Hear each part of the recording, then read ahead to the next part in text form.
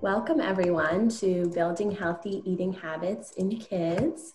My name is Claudia Zerlini. I'm a senior coordinator for the Sneakers Nutrition Education Program here at HSS. In today's webinar, we're going to talk about childhood nutrition, including what makes a balanced diet and how to encourage healthy eating habits in kids. I'm very pleased to present our and welcome our guests today, Laura Jabovsky, who's our pediatric clinical nutritionist, Dr. Melanie Pryor, who's a primary care pediatrician, and Karen Glass, who's a clinical social worker and pediatric social worker at HSS. I'm so glad to have you all here today. Thank you for joining us. Thank you. So let's get started. And I think um, I'd like to start with a really general question um, that Dr. Pryor, I think you'll be able to answer. And what are some of the biggest concerns that parents often ask about kids and nutrition? Um, well, that's a great question to start with, Claudia. And I think overall, so parents do have a lot of questions just about what makes a healthy and a well balanced diet at different ages. Um, for some of the younger kids, there can be a lot of questions about introducing new foods and how to deal with picky eaters.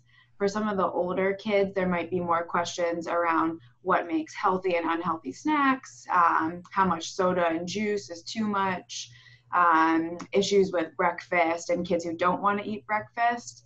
Um, so we get a lot of questions on how to manage those things. Um, and at really at all ages, families do have questions about kids who have food allergies or special dietary preferences for the family, and really what's safe and healthy for kids. Um, but really, I think a big point is just keeping in mind there's a wide variation of what's healthy for children. That's great. So, what is healthy for children? What does balanced eating look like for kids? Um, are there certain key nutrients that children should be getting enough of? Laura?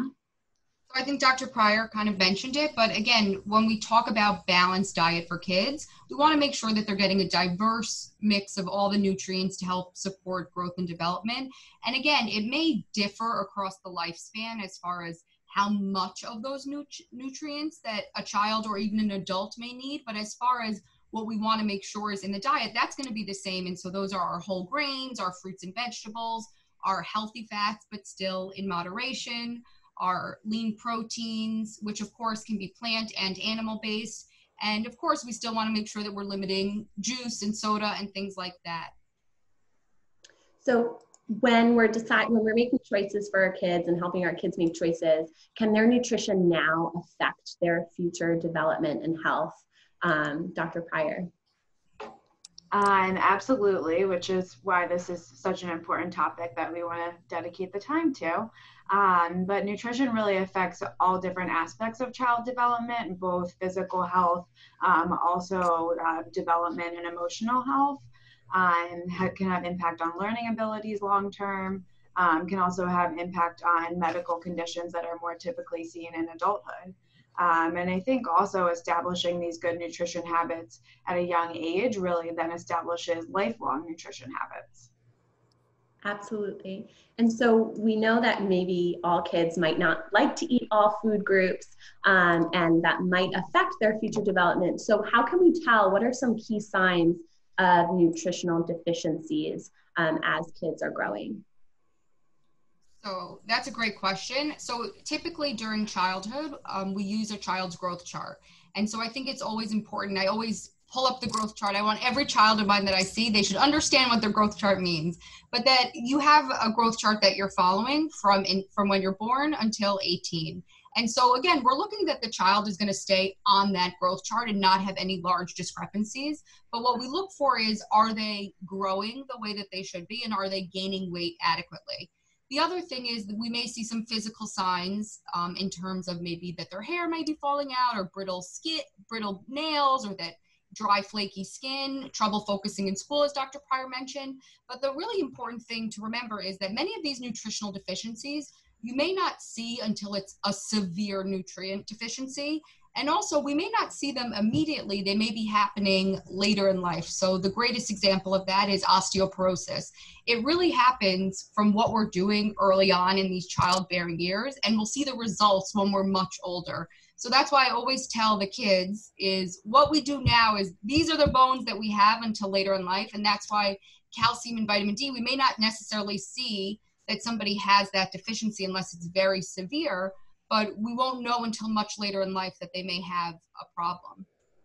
Laura, you use a great analogy that I remember from Sneaker about sneakers um, with the kids. Do you mind sharing that? So I typically tell um, my female patients, you know, I try to find out what it is they like. Obviously, at a certain age, they like shoes and bags, and that applies to my age as well. And so I say to them, if you got a really expensive, beautiful pair of shoes or bag, would you you would want to make sure that you treat it really well. Their eyes light up. Oh yes, absolutely. And then I explain to them that's what their bones. And for the the boys, I tell them a, a signed baseball card or a basketball by LeBron James or a famous a player that they admire. Oh, I would never do anything to that. And then I explain to them that that's really what their bones are, and that these are the bones that we have from now till we're 100, and that you want to make sure that you build the strongest bones now because later on you don't have that opportunity to build it the way that you do now. And kids really get it, and they really take to that um, kind of analogy. Yeah, I think it still can be a little challenging though, trying to convince a child to care about their 80 year old self. Um, well, that's why if you tell them it's a, like a basketball player or they care more about that than their 80 year old self. That's a very good point. Absolutely. I really appreciate that analogy. Thank you. Um, so, Karen, this is where you come in when we're thinking about not just our physical health, but the mental and emotional health of kids. Can nutritional deficiencies affect kids in that way? Yeah. So, thanks so much, Claudia. So, I want to break apart this in two parts. So, first, I want to talk about how nutritional deficiencies affect mental and emotional health. However, then I want to talk about how poor nutrition impacts academic and school performance. So, while most people understand the connection between poor nutrition and physical health, which is exactly what Laura just kind of brought up, you know, imagining your 80 year old self, many people don't really um, have the connection or realize the relationship between nutrition and mental health. So, childhood and adolescence are critical windows of development. During this time, many psychiatric conditions emerge for the first time. And the most common mental health disorders that can be diagnosed in childhood are ADHD, depression, anxiety, and behavior disorders.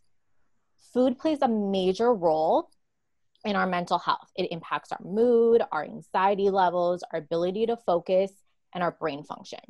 In fact, diet is such an important component of mental health that it's inspired an entire field of medicine called nutritional psychiatry.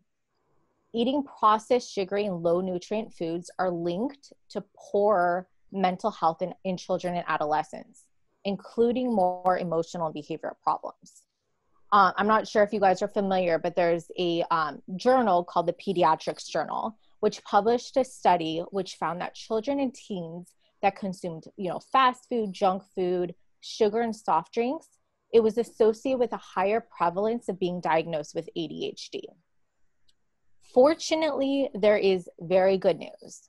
So, research suggests that a good quality, healthy diet filled with fruits, vegetables, lean proteins, whole grains can be protective of our mental health and has been linked to better mental health outcomes. In fact, a study published by Harvard Medical School found that a healthy diet was associated with a significantly lower risk of developing depressive symptoms. Moreover, research has found that a better diet at baseline, just at baseline, was associated with better emotional well being, including higher self esteem and fewer emotional and peer problems. So, why am I, you know, throwing all these research studies with, um, on you? What does it all mean? So, while the relationship between what we eat and how we feel is complex and should not be viewed as a cure for mental illness by any means. It's important to note that it can have a significant impact. And that's why me, Laura, Claudia, Dr. Pryor, that's why we're here. We need to know how to build healthy eating habits in kids because it can impact your future in so many ways mental health, as well as, like Laura described, um, physical health. Now, um, in addition to obviously mental health, I want to shift focus a little bit and talk about how nutritional deficiencies can impact um, your social and academic uh, performance. Education helps children learn how to think critically. It enhances their creativity and in their imagination, It will expose them to new ideas and it helps them find a career path that they wish to pursue as an adult. This is why school is of utmost importance to our child's future. Youth face a number of food related concerns, such as poor nutrition, obesity, hunger, and evidence shows that healthy students are better on all levels of academic achievement, including academic performance, which is your grades, your test scores, education behavior, which is your attendance and your behavioral problems in school, and lastly, your cognitive skills and your attitudes, your concentration, your memory, your mood. And I want to mention just a few studies that demonstrate how eating healthy foods and having access to nutritious meals can have a huge impact on your academic and school performance. The research has demonstrated that nutrition affects students' thinking skills, their behavior, and health. And all of that um, impacts your academic performance. For example, evidence shows that not eating enough specific foods, your fruits, your vegetables, your dairy products, your, lo- your lean proteins, that's is associated with lower grades diets and high in trans and saturated fats can negatively impact your learning and your memory. Nutritional deficiencies earlier in life, um, particular, I'm sorry, def- nutritional deficiencies early in life, particularly zinc, B vitamins, omega 3 fatty acids, and protein, can affect the cognitive development of school age children. And nutritional deficiencies are also associated with lower grades and higher rates of absenteeism and tardiness. So, finally, studies show that eating a healthy breakfast, such as participating in breakfast programs at school, plays a role in student behavior, cognition, concentration, energy levels, and academic performance.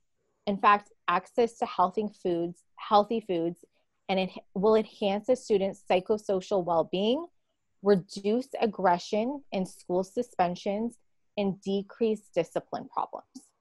So, putting this all together, I know I just gave you a lot of evidence, a lot of research. So, drawing, you know, about the mental health component, bringing what I just talked about, academic performance. What does this all mean? What's the bottom? What is the bottom line? It all boils down to this: um, early life, adolescence in particular, is a time of transition to adulthood where many lifelong habits are being established.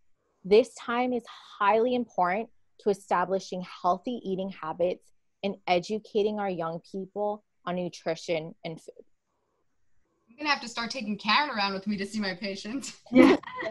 I know that was so long winded, but I felt like it was so important. Yeah, I agree. That's what I do.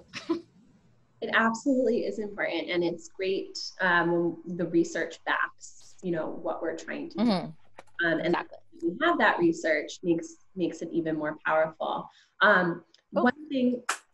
Sorry, my light went off. um, one thing you did mention was about the importance of breakfast, and um, I, I, just I had a, a thought, Laura. Um, what would of the most well balanced breakfast be to prime our our kids' brains for school? Yeah, so we definitely want to make sure that there's a protein because this way it can help establish that foundation and give that and also if we can get a whole grain or a fiber because typically that's it takes longer for that to digest so this way it can last them until lunch. So typically i might recommend an egg or they can have oatmeal and typically a great way to do that is you can do overnight oats and make it with the milk the night before. This way there's a little bit of protein with that whole grain. Um, worst case, I know some kids don't like to eat something, so even grabbing a banana but pairing it with a string cheese or peanut butter or something like that, even if needed to have a, some low fat chocolate milk is also a good option because at least we know that the child will get some protein and again, the calcium for those strong bones. And I just want to add also, um, like I talked about some research about how, um, you know, breakfast is so important to kind of kickstarting your child's day and how it can impact everything from, you know, how you learn and process information to how you can concentrate and really grasp information that you get from teachers. Um, you know there are many government initiatives that you know instill um, you know healthy foods in schools and have programs for healthy eating. And obviously not every school is perfect. And so that's why it's really important for the parents to partner with your schools. So if your school doesn't offer something like that, you know, meal plan and prepare in advance because you know the research speaks for itself. It makes such a difference in the world. Um, I, I, did a lot of research and there are like a lot of dietary plans that um, parents can do and partner with this school. And any like i said the main thing is having healthy habits and trying to instill that with your child when they're young um, so they can practice on um, and do that as an adult. Absolutely. Thank you. Um, Karen. So there are other kind of emotional aspects to eating, certainly when we think about um, eating habits. And so, what about overeating or kids sneaking foods? Does this relate more to nutritional de- deficiencies, or is it an emotional concern that might need to be addressed? Laura, I think this one might be best. Take that. Um, so I think it is important. I mean, especially now when kids are kind of doing this in in between learning where some are at home and some are in school. The idea of the kitchen being open is a problem that i'm hearing a lot from the parents and kids are constantly going into the kitchen and eating snacks and then the mom or dad might say to me but then they're not hungry they're not eating at meals. Well they're eating 900 calories in between their meals so of course they're not ready to sit down and eat the sandwich when you want it especially when you have a pantry filled with cookies chips goldfish pretzels that i've heard a two or three year old climbing up on the cabinet shelf to reach them for themselves. So again, it comes back to the ideas that what are we keeping in the house and making sure that we're having healthier options in the house and also creating healthy relationships with food and how we incorporate them through the day. So the idea of constantly eating, while it is something that I want to do all day long, we really want to make sure that we're establishing those healthy habits so that a child knows when they're hungry and can eat when they're hungry. We want to encourage that. But the idea of just mindless eating or mindless snacking isn't what we want. So even in the beginning, you know, having that discussion of these are the snacks and maybe having a snack time. And if the child really is hungry, I would never want to deprive that child of something to eat. But the whole idea is establishing that healthy relationship with food so that we learn our internal hunger cues to know when we are hungry, when we're not hungry, when we're eating because we're sad or because we're happy, and making sure that we're not doing it for the wrong reasons and that we're doing it to support growth and development, which is really what food should be for. Absolutely. I uh, want to add uh, just one more thing to that, too. Um, so Laura said that beautifully, and I just want to add something more from like that social work perspective. So if your child is sneaking food or, you know, overeating, I think it's important, and Laura, correct me if I'm wrong. I think the most important thing is not to, you know, go to a punitive, you know, go to an area of shame. I think it's important to stay calm and not react negatively. I think that's the first step. And then from an empathetic standpoint, explore why your child is sneaking food or overeating. You know are they in fact hungry? And is it like you know a lack of resources? Or is it you know more emotional based? And when you've gathered that information you can p- make a plan going forward that works for everyone and helps to heal and nurture your child's long-term relationship with food. Yeah i've been encouraging a lot of my uh, patients to actually have family discussions where because I know many of us kind of fell off track during COVID. We may have been buying foods that we mm-hmm. normally bought, and now people are kind of ready with the school year just starting to kind of get back on track and right. revisit healthier choices. And so I encourage them all to kind of come together as a family, establish what are our healthy habits in the household and how we're going to do that together but together so that it's not mom exactly. and dad dictating right. and telling. Right. There are some things that mom and dad have to tell a child, but we want to make sure that the child feels included in the process 100%. So understand it and that they want to do it when mom and dad are not around and that's really right. the important thing right and that's exactly like kids need to know that they're in a partnership with their parents obviously parents you know are the parents and they have the bottom line but you want to have your kids included in that process which i'll touch upon later but you want to get your kids involved because that getting them involved and invested in their health is what's going to make those lifelong changes. Absolutely. So that that's a great segue karen. Um, what are some strategies that parents can use to model good eating habits and get yeah. get children involved in food choices? So um I first want to talk about how kids can get involved in food choices, and then I'll bring in how parents, you know, can model and what some good strategies to have your kids eat those nutritious foods. So, first, important to note instilling healthy eating habits in children is an ongoing process and it takes time and patience. Um, it's not something that's going to happen, unfortunately, overnight. I wish it's as simple as that, but it's just not. So, luckily, there are a number of strategies to get kids involved in food choices. So, one, plan meals together.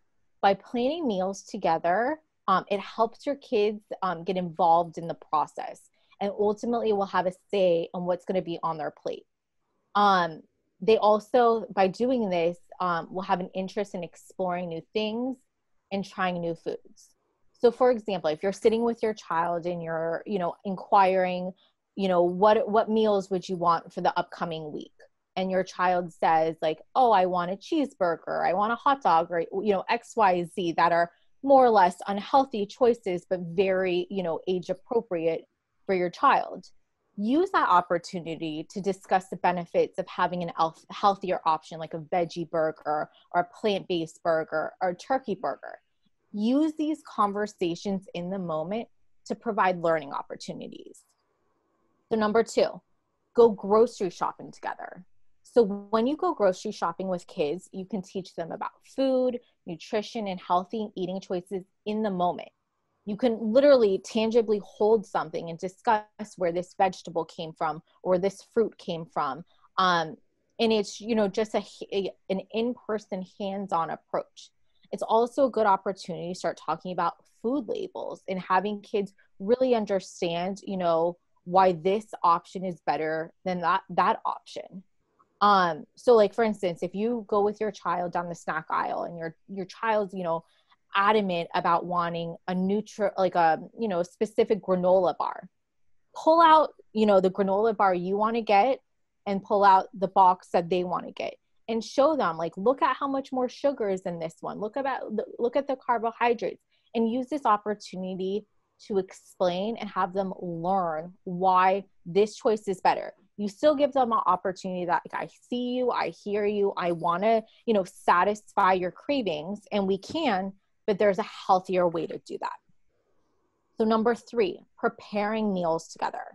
One of the most important tips for creating healthy eating habits in kids is bringing them into kitchen bringing them into the kitchen to prepare meals. So regardless of your child's age, there's a job for everyone, whether it's reading the recipe, helping mix the ingredients, or chopping up vegetables. You want to give your kids small jobs to do and praise them for their efforts. So when I was growing up, you know, I'm on the shorter side and, you know, my mom wanted me to get involved very young. The first thing she had me do is set the dinner table. And soon, you know, my responsibilities increased as I got older. The main thing she had me do though is starting at the beginning of dinner time till when the dishes were cleared up, I was involved and I knew I contributed to that meal time. So I, you know, graduated from setting the table to, you know, owning this the salad, you know, the side salad for dinner and I would tear the lettuce and eventually I would cut up the vegetables. So by taking ownership, I got more involved. It's also important to be creative. So especially for your younger kids, cut foods into fun shapes name foods that you know that your child helps make. You know if your daughter scarlett may helped you you know peel the potatoes you know say this is scarlett sweet potatoes and make a big deal about it and praise them for their efforts. Because this will make them so proud. They'll take ownership of it and it will make them motivated to want to contribute for future meals so when cooking becomes an enjoyable habit instead of a nuisance, that's really when healthy lifestyles um, and choices start to fall into place. So number four. Um, oh, so we make kale pancakes in our oh. See? And my nephew, I explained to him, I said, these are Hulk pancakes. I cannot tell you how many pancakes. I mean, obviously we still control the portion, but right. he will ask for Hulk pancakes and he does not ask for other pancakes or waf- or his chocolate chip waffles anymore. He wants Hulk pancakes and he loves them and they are made Right. scale and they are delicious. Right, right, exactly. So it's getting the kids, you know, by naming it Hulk pancakes, it's just so much more enticing. And I'm sure, you know, he's, you know, want, you know, naming it and wanting it in the future, which is awesome. That's what we want to, um, you know, that's exactly what we want. So next, um, kids, um, and I, I don't know, Laura, you may have an opinion about this also, is kids should serve themselves by serving themselves, kids will learn to make decisions on which food to put on their plates and how much to put on their plates. They'll learn to share and take turns and be responsible for their choices.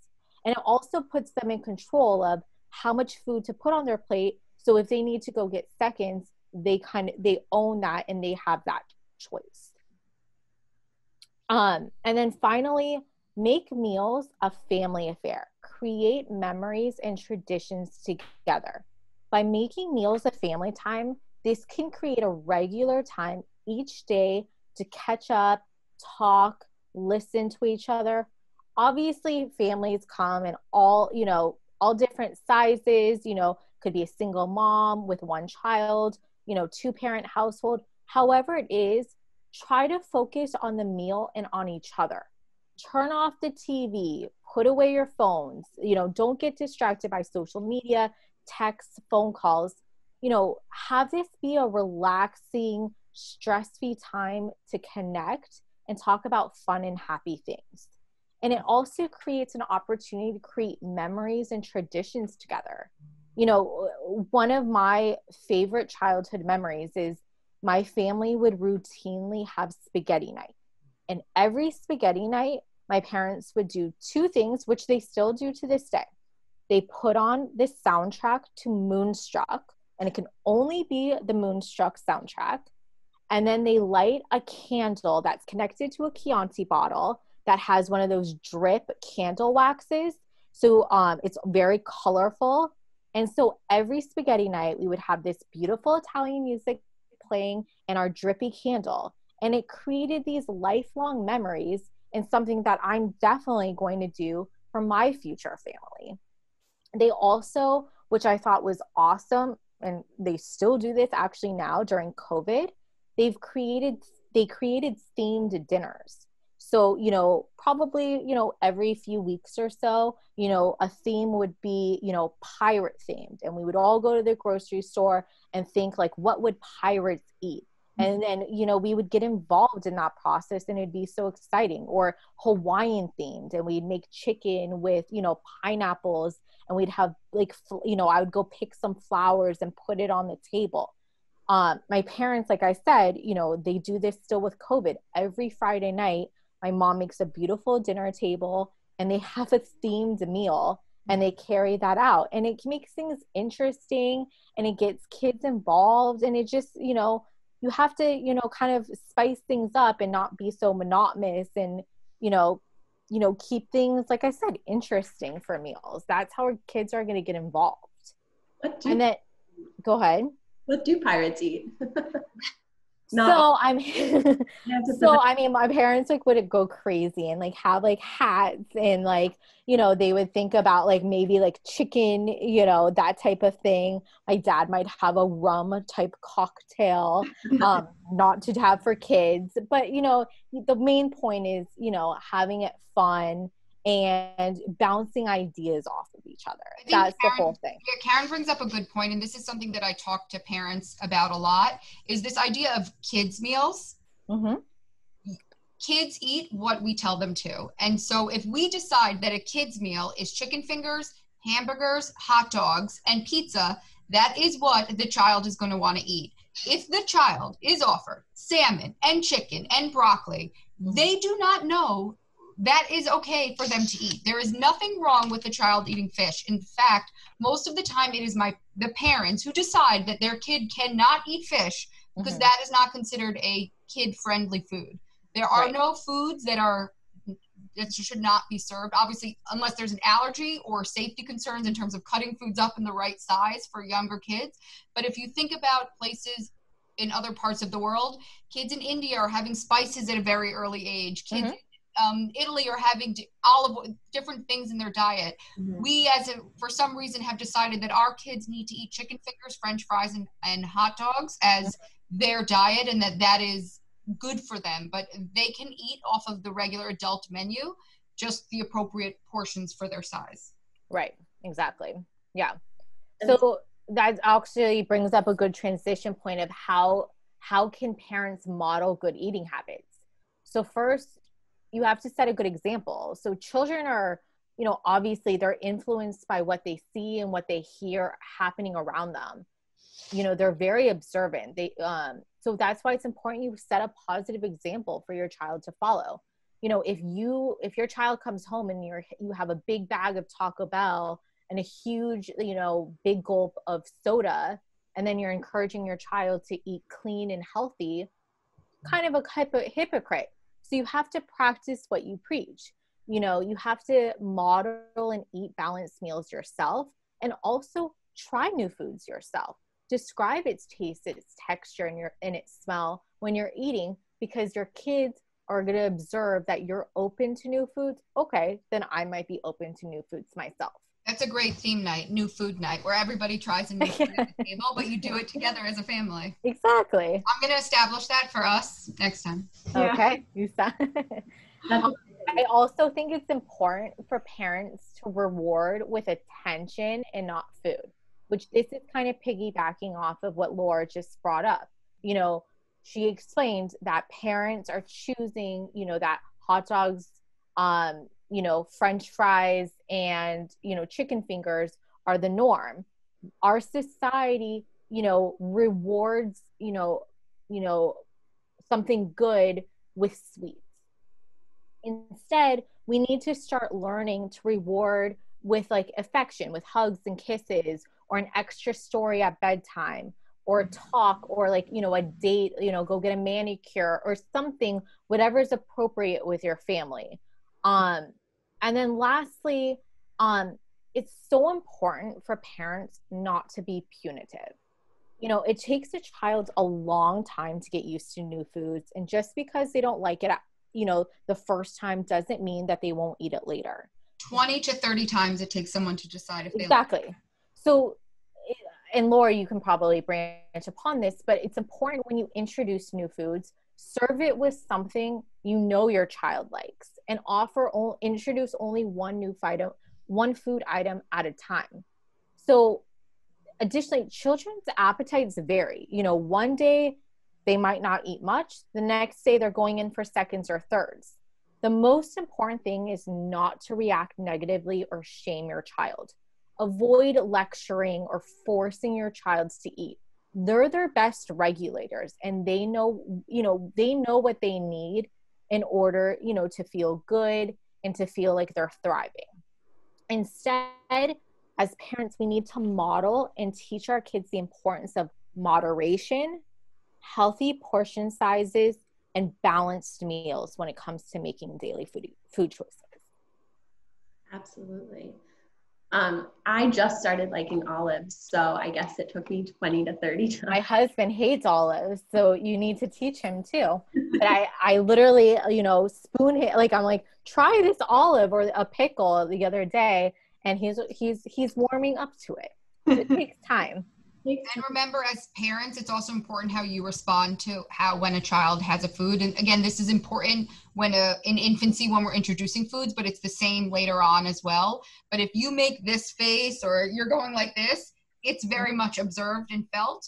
So if you know that you're going to offer something, just give them, "Wow, that was a great job. I'm proud of you for trying that." That's a great line that exactly. works neutral. It's giving positive reinforcement, and it's not letting them know that you're pro or against. It's just saying I'm happy. I'm proud of you for trying something new. Right. That's the best thing. And it, again, it goes with what Karen is saying. You're giving your kid that positive affirmation, which is really what all kids are looking for. Yep.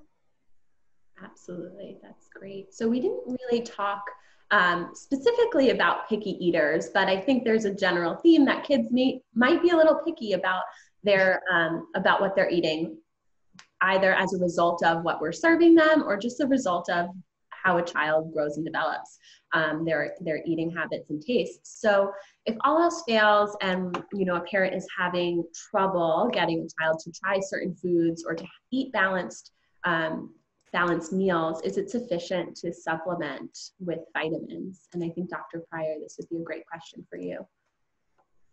Yeah, I think um, everything both Karen and Laura had touched on really um, just so important to really encourage that balanced diet kind of as the first line um, and really using some of these strategies to work through um, foods that kids are refusing because the food really is the best source of all those vitamins and nutrients. Um, but that being said, there are some circumstances where a multivitamin would be appropriate um, and it's definitely important to talk to your child's pediatrician about that especially kids who have very erratic eating patterns or are on special diets, potentially for medical reasons, uh, vitamins can be a useful supplement. But even for kids who are picky eaters, fortunately, a lot of our foods are fortified with vitamins as well. So kids who eat cereal, even juice, milk, those things are excellent sources of vitamins, even if they are picky in other aspects. Um, and definitely just to keep in touch with your pediatrician about these issues as well. Yeah, Dr. Pryor brings up a great point. I think that's really important. There's a difference between picky eating and picky eating that could lead to a medical problem. And so making sure that you're really being in touch with your pediatrician and bringing those points to the, your visits and you know having a notebook to be prepared for that can be really helpful to kind of see if what you're experiencing is really very far off from what a typical kid who may like to push your buttons versus someone who may be experiencing a true problem that needs additional medical intervention exactly so laura i think you just mentioned having like notes is it helpful for parents to come prepared with like a set of a list of foods that their kids eat, a list of foods that they refuse to eat? Is that something that's helpful? Yeah, I mean, I think everything is always helpful to write down. And I think at that point, you know, sometimes while you may be going over certain milestones with your pediatrician, that would be a great opportunity for your pediatrician or if to either ask, oh, do you work with the dietitian closely? I know here at the hospital, we all know each other and refer to each other constantly, but that's very common also in private practices or in these large public offices that a child may go to to have somebody on site who could help or do you have a reference that i can go to who you know that you work closely with because it's always great to have somebody who kind of everybody works together to kind of help that relationship happen Absolutely. Yeah, and I think um, like aside from your pediatrician and a nutritionist being great resources, there are just a lot of resources out there on the internet as well. And mm-hmm. um, I definitely recommend healthychildren.org, which is the AAP's website. Um, and that gives just really good overviews of nutrition by age and um, even goes through some of the things that we talked about earlier with strategies for encouraging healthy eating. Um, the CDC also has a great website as well. Eatright.org is another great one. The internet is a blessing, but it can also be a curse. So, like Dr. Pryor is saying, make sure that you're going to credible websites to get that information. And there are credible websites, or even ask your doctor, what are some websites that you recommend that I go to? Because don't just go to a random www ihearteatinghealthy.com. I don't know it, but don't even look that up. But I'm just saying we want to make sure that it's from a credible where they're giving you the evidence based guidelines of what's best for your child. So I think even beyond websites, it's getting a little more challenging because a lot of people are getting their information from Instagram, Facebook, Twitter, different social media.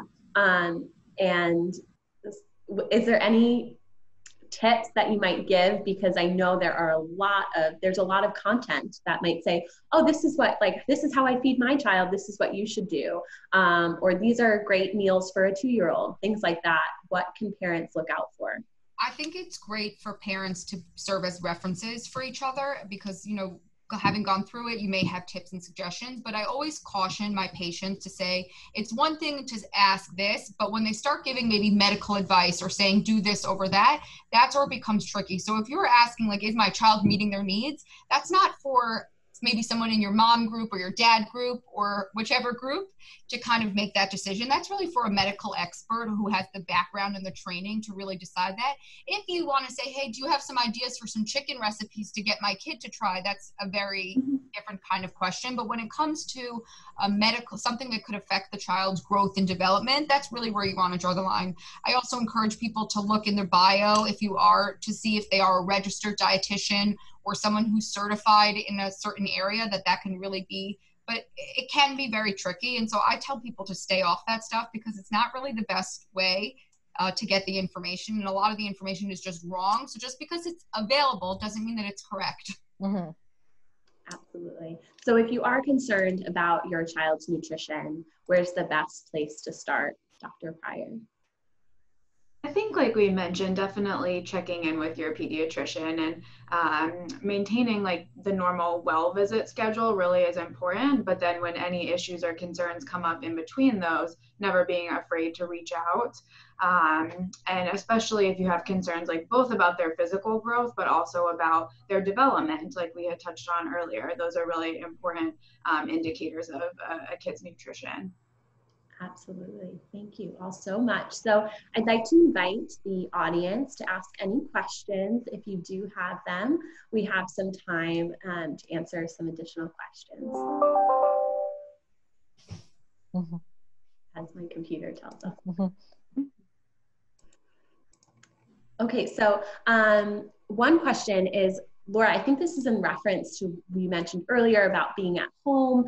Um, how important is it to stick to a schedule? My kids are learning on Zoom and want to eat all the time. Yes. Um, so that is actually something that I encourage all of my parents to do is to sit down, do that family meeting thing, and even you can write it out so it's on a board or a piece of paper or somewhere in the household, because then it kind of that's what kids have in school. They don't just get to walk wherever they want to go. So it's kind of reestablishing that norm for this new norm that we're all experiencing. But to say maybe you can plan in at 10:30, you have a break between these two. That's when we're going to have snack time. At 12 o'clock, that's going to be lunchtime. So it's using the schedule that they have. But again, with this schedule, it's not just with eating; it's also with sleeping. It's also with uh, physical activity. It's everything because that is really going to impact the well-being of the child as well.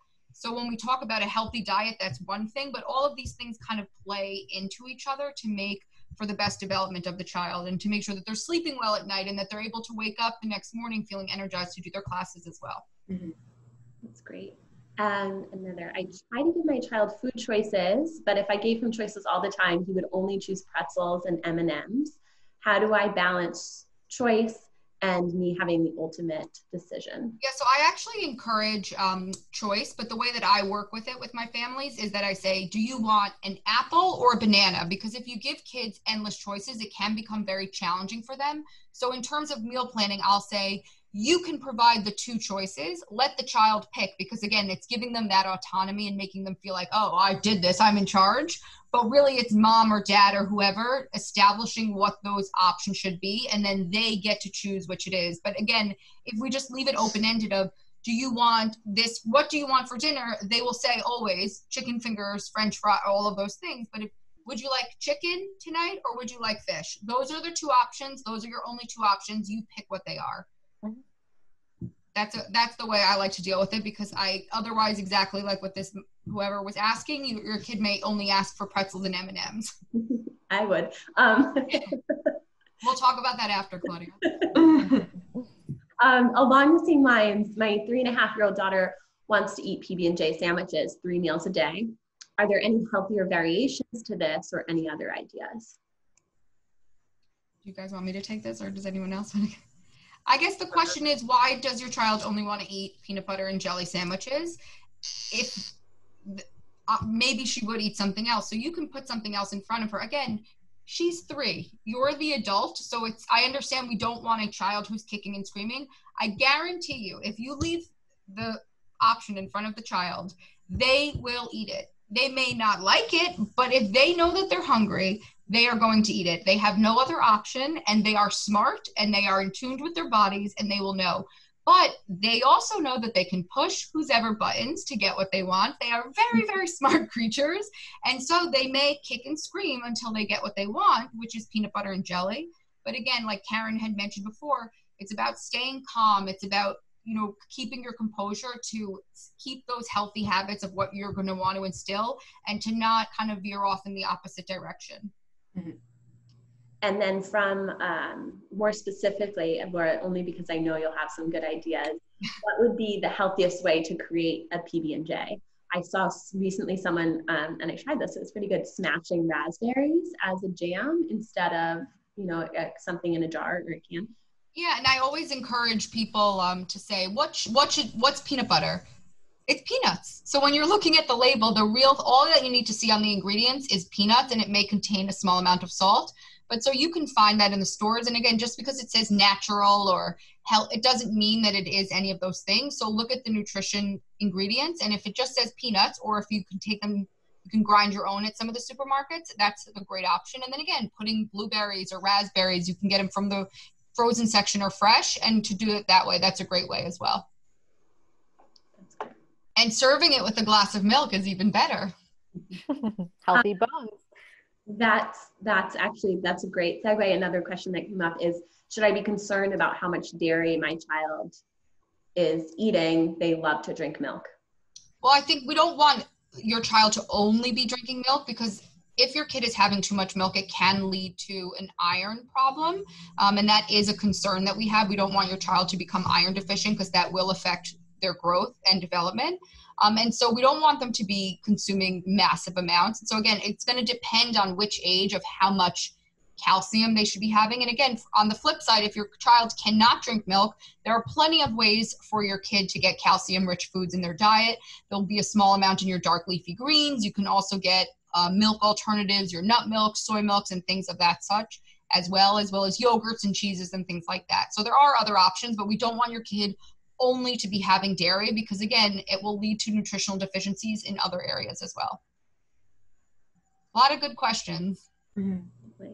okay i think that's it for the questions um, i don't know if the three of you have any parting words but um, thank you so much for all of the information that you've shared today thank you thanks for having us all right. Thanks again to everyone who was able to tune in. If you have any questions or would like to learn more about HSS, um, please feel free to visit us at hss.edu. Have a great day, everybody. Thanks. Bye. Thank you. Bye.